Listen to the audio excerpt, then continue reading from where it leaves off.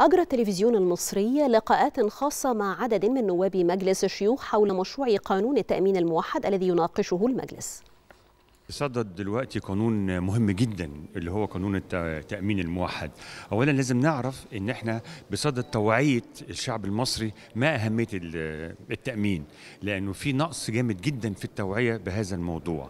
حضرتك عارفة جميع البلاد المتقدمة وجميع بلاد العالم المتطورة التأمين إجباري على كل شيء. أهمية قطاع التأمين هو يعتبر من أهم القطاعات الداعمة للقطاعات الاقتصادية بشكل غير مباشر وبنلحظ ده من مبلغ صافي الاستثمارات اللي وصل له اللي بي بي بيفوق ال 131 مليار جنيه و466 مليون. والرقم ده حقيقي من الأرقام اللي هتكون مؤثرة جدا في دعم التنمية الاقتصادية والاجتماعية في مصر. أهمية هذا المشروع إن ده مشروع بيهتم بصناعة مهمة جدا في العالم.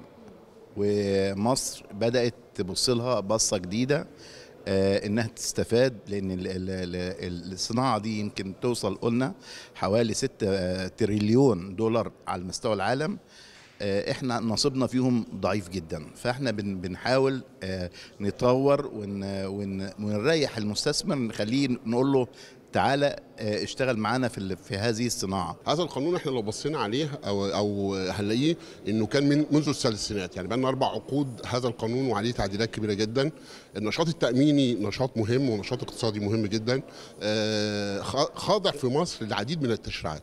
من هنا جاءت فلسفة هذا القانون إن إحنا عاوزين نعمل توحيد لهذه التشريعات